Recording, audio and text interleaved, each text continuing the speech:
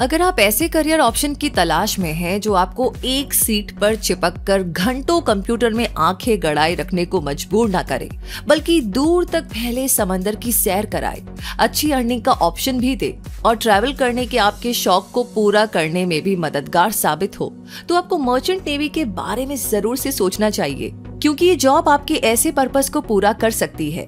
अब अगर आप ये नहीं जानते हैं कि मर्चेंट नेवी क्या है तो आपको बता देते हैं कि ये एक नॉन मिलिट्री सर्विस होती है, जो कंट्री की कमर्शियल शिपिंग का हिस्सा होती है और इसका सबसे मेन काम सामान को एक जगह से दूसरी जगह, यानी एक देश से दूसरे देश और इस तरीके से पूरी दुनिया में ट्रांसपोर्ट करना होता है। ये वर्ल्ड इकोनॉमी का इतना इम्पोर्टेंट हिस्सा है कि 90 परसेंट से भी ज़्यादा सामान मर्चेंट नेवी के शिप्स के ज़रिए ही पूरी दुनिया में ट्रांसपोर्ट होता है। ऐसे में इसकी इम्पोर्टेंस और इस जॉब की रेपुटेशन भी काफ़ी अच्छी होती है। और मर्चेंट नेवी में कौन से डिपार्टमेंट्स होते हैं, कौन सी रैंक्स होती है, ऐसी सारी जानकारियाँ आपने मर्चेंट नेवी पर बने लास्ट वीडियो में ले ही ली होगी। लेकिन अगर आपने अभी तक वो वीडियो नहीं देखा है तो पहले आई बटन पर क्लिक करके उस वीडियो को पूरा देख लीजिए, ताकि आपके लिए मर्चेंट नेवी को समझना आसान हो सके और इसे ज्वाइन करने का प्रोसेस आप आसानी से समझ सके। और आज के वीडियो की बात करें तो इसमें आप जानने वाले हैं कि मर्चेंट नेवी की डिफरेंट पोस्ट जैसे कि ऑफिसर और रेटिंग्स की पोस्ट के लिए अप्लाई करने के लिए और ज्वाइन करने के लिए आपको कौन सा प्रोसीजर फॉलो करने की ज़रूरत होगी। इसके लिए क्या क्राइटेरिया होता है, कौन से कोर्सेज करने होते हैं, इसके लिए बेस्ट इंस्टीट्यूट कौन से हैं सैलरी पैकेज कैसा होता है, ऐसी सभी ज़रूरी जानकारियाँ आपको आज के इस वीडियो में मिलने वाली है। इसलिए इस वीडियो को लास्ट तक ज़रूर देखें। तो चलिए शुरू करते हैं। अपनी एजुकेशनल क्वालिफिकेशन के बेस पर आप मर्चेंट नेवी को कैडेट या इंजीनियर के तौर पर ज्वाइन कर सकते हैं और रेटिंग्स के तौर पर भी। यानी आप क्लास टेंथ से ग्रेजुएशन लेवल तक की एजुकेशन के बाद पर्टिकुलर कोर्स करके इस प्रोफेशन में आ सकते हैं।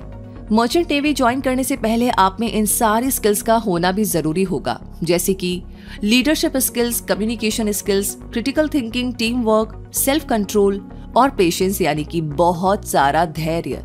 और अब आइए जानते हैं इसके प्रोसीजर के बारे में स्टेप बाय स्टेप पहला स्टेप सबसे पहले अपने लिए सूटेबल जॉब प्रोफ़ाइल को चूज़ करें। मर्चेंट नेवी में दो मेन जॉब प्रोफाइल्स होती हैं, जो हैं डेक कैडेट और इंजीनियर अब अगर आप डेक कैडेट यानी नेविगेटिंग ऑफिसर के रूप में ज्वाइन करने की सोच रहे हैं तो आपकी मेजर रेस्पॉन्सिबिलिटी नेविगेट करना शिप्स कार्गोज और टैंक्स को मेंटेन करना और सभी सेफ्टी इक्विपमेंट्स को हैंडल करने की होगी। जबकि इंजीनियर के तौर पर ज्वाइन करने पर आप इंजन बॉयलर्स जनरेटर्स की रनिंग और मेंटेनेंस के लिए रेस्पॉन्सिबल होंगे। इसके बेस पर अपना जॉब प्रोफ़ाइल आप डिसाइड कर सकते हैं।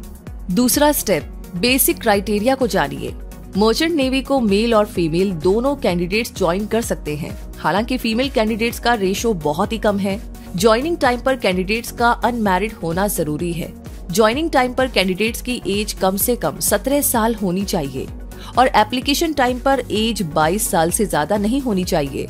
तीसरा स्टेप एजुकेशनल क्वालिफिकेशन के बारे में पता लगाइए।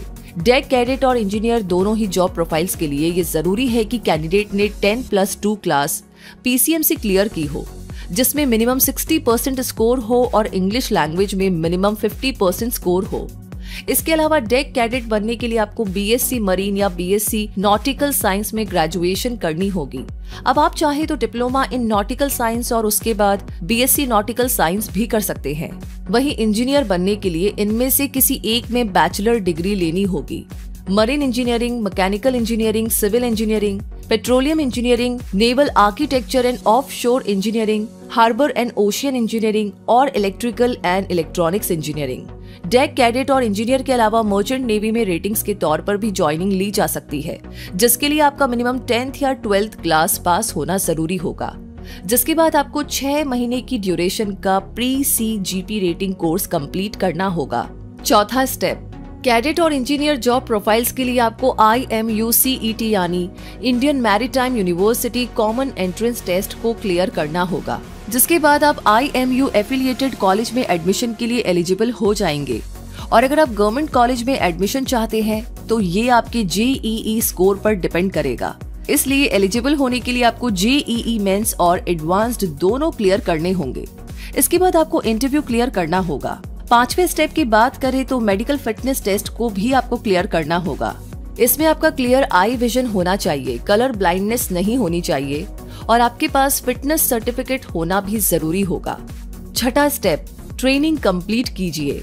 बैचलर डिग्री कंप्लीट करने के बाद आपको एक साल की प्री सी ट्रेनिंग भी कंप्लीट करनी होगी, जिसके बाद कैडेट प्रोफ़ाइल के लिए आपको शिप्स पर काम करते हुए 18 महीने की ट्रेनिंग भी पूरी करनी होगी, जबकि इंजीनियर्स को सिक्स मंथ की यानी कि छह महीने की ऑन शिप ट्रेनिंग कंप्लीट करनी होगी।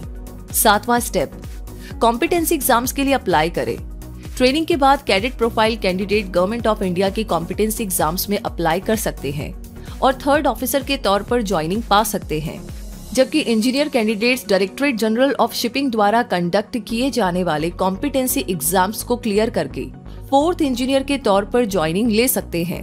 इसके बाद एक्सपीरियंस और अदर कॉम्पिटेंसी एग्ज़ाम क्लियर करते हुए आप अपने करियर में हायर रैंक्स तक पहुँच सकते हैं। आठवां स्टेप है फर्दर एजुकेशन लीजिए। हालाँकि एंट्री लेवल पोजीशन के लिए आपको बैचलर डिग्री या डिप्लोमा काफ़ी होता है, लेकिन मास्टर डिग्री कंप्लीट करके आप हायर सैलरी तक पहुँच सकते हैं। इसलिए इस बारे में ज़रूर से सोचिए। और अब आपको बता देते हैं इंडिया के टॉप कॉलेजेस के नाम जहाँ से आप ये कोर्सेज कर सकते हैं। I M U campus Cochin I M U campus Mumbai, Tolani maritime institute Pune applied research international Delhi international maritime institute greater Noida Samudra institute maritime studies Mumbai the great eastern institute of maritime studies Mumbai C V Raman college of engineering यानी कि C V R C E Bhubaneswar Cochin shipyard limited Kochi और oceanic maritime institute यानी कि O M I Dehradun इन courses के according fees एक लाख पचास हज़ार से छह लाख रुपए तक हो सकती है। वहीं प्राइवेट कॉलेजेस में ये फ़ीस तीन लाख से बीस लाख रुपए तक हो सकती है। आपके लिए वैसे अच्छी खबर ये भी है कि मर्चेंट नेवी में आप स्पॉन्सरशिप भी पा सकते हैं। ये स्पॉन्सरशिप थोड़ी डिफरेंट ज़रूर होगी क्योंकि ऐसी बहुत सी शिपिंग कंपनीज़ हैं जो इंटरेस्टेड स्टूडेंट्स को स्पॉन्सरशिप ऑफ़र करती हैं, जो कोर्सेज के लिए ऑफ़र की जाती हैं। इसमें शिपिंग कंपनी के साथ कॉन्ट्रैक्ट साइन करना होता है, जिसके बदले में वो कंपनी आपके कोर्स के लिए पे करती है और आपकी ट्रेनिंग और जॉब की अश्योरिटी वो कंपनी देती है। कुछ कंपनीज़ अपने खुद के कोर्सेज भी कंडक्ट करती है, जिन्हें ज्वाइन करने पर गारंटी जॉब प्लेसमेंट ऑफ़र किया जाता है। लेकिन दोस्तों, इस तरह की स्पॉन्सरशिप कंपनी के बारे में पूरी जानकारी लेने के बाद ही श्योर होने के बाद ही लेनी चाहिए। और अब सैलरी के बारे में जाने तो डेक डिपार्टमेंट में रैंक वाइज मिलने वाली पर मंथ सैलरी कुछ ऐसी होती है। डेक कैडेट बीस से तीस हज़ार थर्ड ऑफिसर सत्तर हज़ार से एक लाख बीस हज़ार सेकेंड ऑफिसर एक लाख साठ हज़ार चीफ ऑफिसर चार से छह लाख और मास्टर आठ से दस लाख। वही इंजन डिपार्टमेंट में ये सैलरी कुछ इस तरीके से होती है।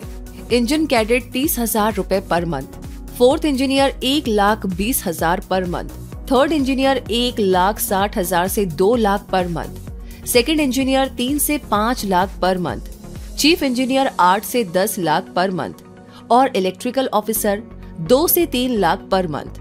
वहीं रेटिंग्स और कैटरिंग क्रू पोजीशंस पर भले ही शुरुआती सैलरी कम हो, लेकिन एक टाइम के बाद ये सैलरी अमाउंट पचहत्तर हज़ार से एक लाख पच्चीस हज़ार पर मंथ तक भी पहुँच जाता है।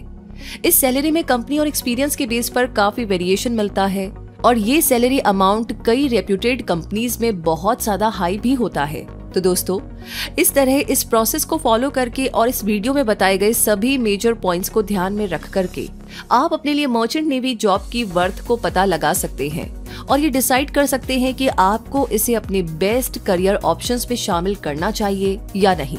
लेकिन आपके मोस्ट फेवरेट यूट्यूब चैनल्स में आप हमें ज़रूर से शामिल रखिएगा और इसी तरह हमारे साथ बने रहिएगा।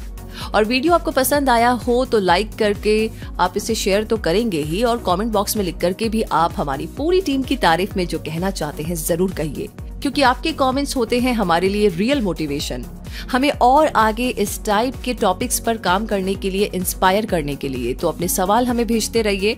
बाकी नए लोगों से रिक्वेस्ट है कि अगर आपने आज ही हमें ज्वाइन किया है और हमेशा ऐसी जानकारी आपको समय समय पर मिलती रहे तो क्विक सपोर्ट चैनल को सब्सक्राइब करके बेल आइकन को प्रेस कर दीजिए ताकि कोई भी नोटिफिकेशन आप कभी भी मिस ना करें।